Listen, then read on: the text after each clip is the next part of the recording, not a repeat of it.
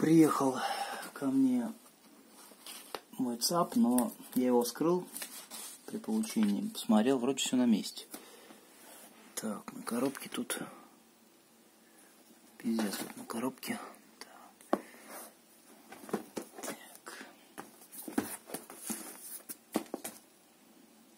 Модель-то, блядь, не перепутали. Хорошо. Это топинг э, DX7 Pro. Есть еще S, но S нам нахуй не нужна. Там, блядь, разница в цене, блядь, 7 тысяч нахуй. А в звуке пиздец там разница, поэтому смысла нет. Че, блядь, меня троллишь, сука? Открывайся, нахуй. Я эту коробку, блядь, скрою, нахуй. Пидораска, блядь. Так. Ну, вот гарантия 12 плюс 3. Так. Серийный номер, блядь, какой-то есть. Так. Что там по цене? Цене у нас, ну вот со скидкой цена. 39 900. Вот она эта хуйня. ЦАП усилителя наушников Topping Dix 7 Pro. Так. Хуюта. Так, пульт. Ну, пульт нам надо, сука. О, переходник, еще один. У меня их таких, блядь, три или четыре есть. Не знаю, сколько. Пускай будет. Да, я возьму комплектный. Так. Это Bluetooth антенка. Кстати, она такая довольно-таки тяжеленькая. Я не буду ее ставить, мне она нахуй не нужна. Кабель USB нужен. Кабель питания. Так, кабель питания нормальный. А то я один раз купил монитор, а там кабель питания хуй пойми какой. Так. Буклет. Тик. Эта хуйня, кстати, здоровая. Если руку приложить, как бы. Есть рука у меня не детская, скажем так. Как бы большая хуйтень. С чем сравнить бы? Сука. Ну, с чем-нибудь сравню. Так. Вот он так выглядит сзади. То есть выходы балансные. Ну, меня не нужны для подключения мониторов. RCA тоже вроде выхода. Есть вход 2S, LVDS. Bluetooth, оптика, USB, коаксиал и AES. Переключатель, кстати, вольтажа снизу, да? Да. Ой, ножки у него такие, блядь, хорошие. Корпус, естественно, металлический. Вот он спереди, блядь. Да, DX Pro, блядь. Путаницы нет. Это балансный, я не помню, как он называется, но это вроде не XLR. Это вроде, ну, может быть, это XLR, хуй знает. Вот это где четыре такие э, дырочки, скажем так. Это 4.4, который маленький. Про такой я впервые вообще слышу, блядь. 4.4, блядь. Это тоже балансный и небалансный 6.3. Ну, я думаю, его доставали, уже проверяли. Какие-то волосы тут есть, блядь. Хуй знает. С коробки они или нет, но... Полежит, нагреется. Ну, такой вес, блядь, я сказал бы, если по голове уебать, в принципе, убить можно, блядь. Очень даже, блядь, легко. Так, какая-то матнина тут есть. Не знаю, чего это, блядь. Так. Так. Bluetooth мне нахуй не нужен. Ну, пультик такой, простенький. Посмотреть, какие там батарейки у него. Сейчас я. Приехал ко мне ЦАП усилитель для наушников топинг. Вот он стоит. Э, я его уже погонял с наушничками. Наушнички Sennheiser. Так, дотянется, не дотянется, не знаю, видно, не видно. HD8 DJ. Довольно громкие они оказались, как бы наушнички. Я их просто не использовал никогда с более-менее таким как приличным усилителем для наушников. И хочу просто показать именно какая разница в громкости. Она колоссальная между Roland Rubix 22 и Topping DX7 Pro. То есть какую громкость могут развивать наушники при использовании их от Рубикса и от топпинга. Получается, так, я не буду долго записывать, чтобы не тянуть просто время, как бы на одном треке покажу, как это будет звучать. Я промотаю сразу до основного момента. Это максимальная громкость. Настройки это ASIO. ASIO Roland Rubix 1000, ой, 192 тысячи Гц э, на 32 бита. Это максимальная громкость, какая вот есть в Windows. Я не знаю, видно, не видно. То есть... А, это не так. А, через ASIO оно не меняется. То есть идет напрямую. То есть наушники будут лежать в одном месте. Это вот, ну, все, это предельная как бы громкость, больше уже нету. То есть от Роланда вот это максимум, то есть полный максимум, абсолютно. То есть ручка полностью выключена. А, тык. Сейчас аккуратненько переставляем наушнички. Топпинг. Снимаем мут. И смотрим. А, надо переключить. То же самое, 192 тысячи на 32 бита будет. Вот они играют, но это не максимум громкости. То есть вот они заиграли от э, топпинга, но это не максимум, что самое интересное.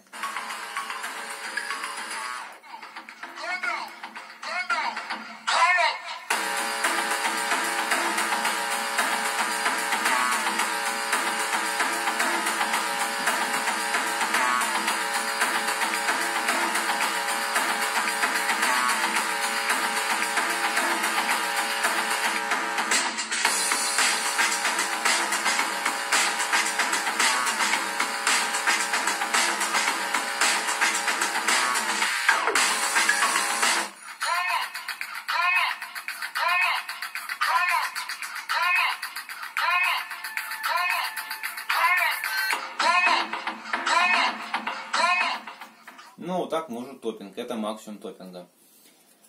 По ощущениям, по... Ну, как бы я с Роландом сижу уже где-то года полтора примерно. Где-то так. И с наушничками с этими тоже года полтора. И как бы, ну, уже как бы...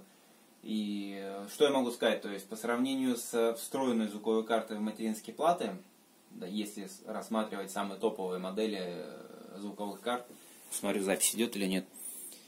Так, запись идет. Да, если рассматривать самые топовые звуковые карты, которые есть э, в материнских платах на данный момент, то я бы сказал, что они проигрывают э, Роланду по определенной детализации, по какой-то вот именно кристальности звука. То есть, ну, Роланд это вообще, ну, мягко говоря, просто комбик, звуковой комбик. Это не ЦАП, не звуковая карта. Ну, то есть, как бы, в целом-то она звуковая, но это, мягко говоря, все-таки, ну, это ну, такое себе, как бы, совмещенное устройство, поэтому от него чего-то ожидать смысла нет. Но и то, даже от Роланда звук становится очень такой вот именно, как бы, сладко приятный, но не приторный. То есть, именно вот, как бы такой вот, именно его приятно слушать. А топпинга, получается, он вы, выплескивает из музыки все, что из, в ней есть, в, в, как в, в производимом вами треке, то есть ну, песне, он именно вытягивает все полностью из нее.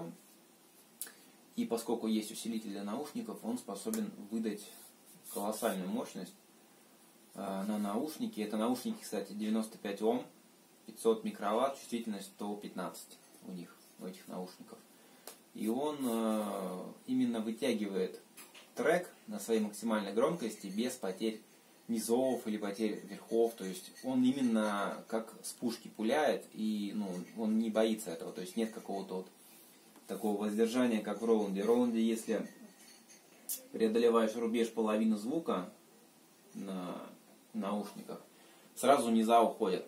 То есть он не вытягивает низа, все уже чисто падает вот. Только остается середина и верха какие-то. То есть, ну как-то так. Но мне Роланд понравился. То есть по звуку, как бы, ну это не звуковая карта, но я его покупал специально для микрофона, как, э, как бы так, ну что уже мучиться с э, компьютерными гарнитурами уже надоело, честно говоря. То ломается, что-то шипит, глючит, поэтому как бы по звуку на данный момент я полностью перешел на профессиональное оборудование.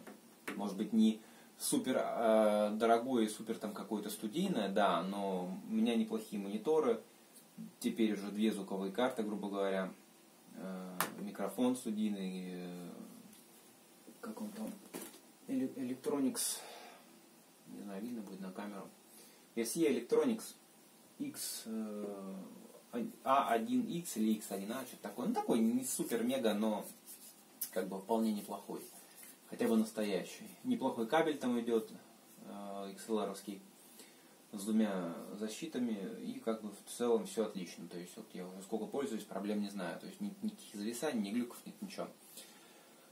Ну и как бы вот э, купил мониторы, э, кабеля еще к ним едут, потому что у меня нету кабеля XLR чистого для подключения их к топингу. Они подключены к Роланду через XLR и 6.3 джек. Кабель вроде как балансный, но дешевый, и как бы, ну, я послушал колоночки вот эти, очень неплохо звучат. Как бы а, сравнение, скажем так, с какой-то акустикой, которая компьютерная, то есть звучание отличное, как бы и мощность здесь уже такая, то есть как бы ну, то есть, если комната метров 70, то двух этих колонок хватит без саба. То есть, бахать будет солидно. Вам понравится. Э, что касается топинга, пока смог оценить его возможности только в наушниках. Настройки какие-то определенные есть через пульт, но какого-то именно такого вот именно критического или э, ну, как бы ну, как, э, сильно меняющего чего-то нет. То есть как бы все изначально в нем уже есть, как бы, и, то есть э, ЦАП вроде как довольно неплохой на ESS 9038 Pro чипе, плюс предусилитель на мониторы, усилитель на наушники. Есть э, выход у него 6.3, 4.4 балансный и я не знаю даже как это называется, XLR, не XLR, тоже балансный на наушники. Мощность у него, мощность у него заявлена 115 микроватт на 300 Ом.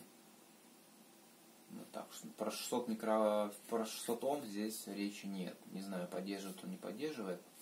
Но играть 600 омные наушники будут все равно через него. То есть, может быть, не вот так, как эти, но хотя бы музыку вы точно послушаете через них.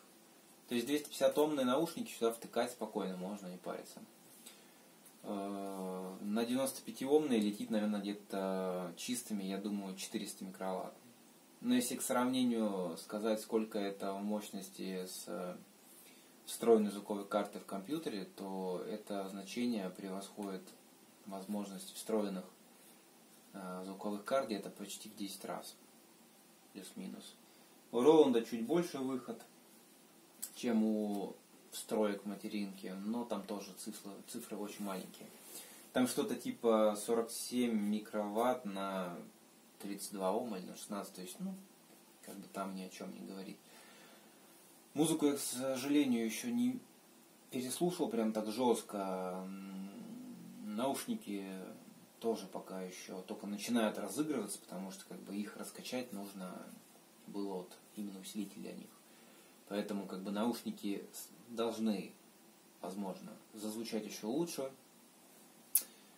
Колонки я пока не проверял. Я подключал э, через... Э, брал кабели с э, микрофона и подключал одну колонку. То есть посмотреть просто работает, не работает. Все, как бы выходы все работает, но оценить именно как бы надо с двух колонок. Как-то так. Как не, не кабелей нормальных. Оценить пока не, не получится никак. Но мне напор звука понравился, то что ты добавляешь, а все именно вот эти вот, ну как, все частоты в песне, они остаются на том же уровне, то есть нет никакого ощущения, то, что вот при добавлении громкости ты теряешь э, низы там или еще что-то, то есть лупит до такого состояния, то есть я как бы в очках, у компьютера сижу, зрение хреновое, начинается именно вот эта микро вибрация очков от наушников, и как бы уже начинает чесаться, и вот все, что прикасается к наушникам, начинает кожа чесаться. То есть лупят просто безбожно уже. То есть на такой громкости посидеть, э, ну если просто на, по, по обычному одеть наушники, я не думаю, что вы сможете. Только если вы глухой. Потому что, я думаю, разрушение барабанных перепонок начнется просто отлично. Я думаю, за час уже могут быть последствия, потому что громкость просто безумная, очень безумная. То есть запас мощности хороший, у него есть еще регулировка э, гейна, это H, это H и L. Ну вот на L он играет тише, кстати, можно показать.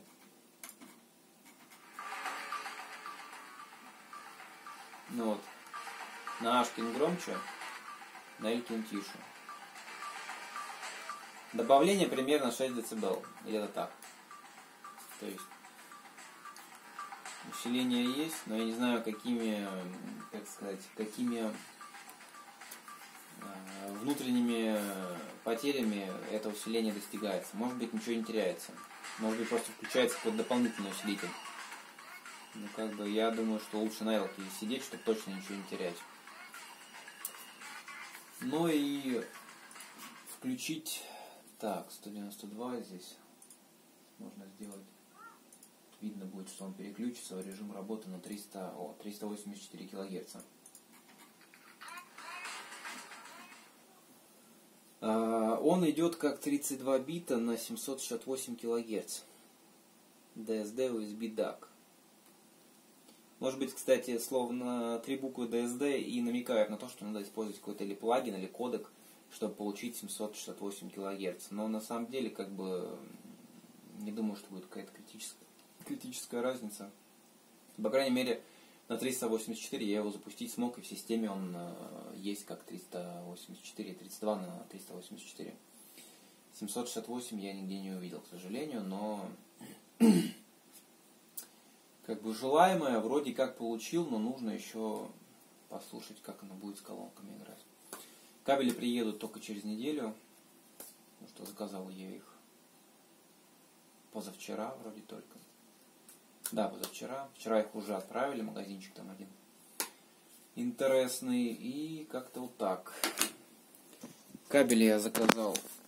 Так, тут еще у нас время есть. Время есть, есть мейлер. Да, бля. А, вот, этот кабель заказал в этом магазине, то есть 8 нот. 1840 рублей за один кабель. Но я скажу точно то, что это не вообще близко даже не какой-то типа там хай-энд или еще что-то такое. То есть такие вот именно какие-то понятия именно вот этих музыкальные. Это обычный кабель начального уровня высокого качества. То есть примерно как-то так можно это все охарактеризовать. Кабель здесь 3 метра. То есть не 30 метров, да, там не 20, не 10, 3 метра кабель, как бы, но как-то так.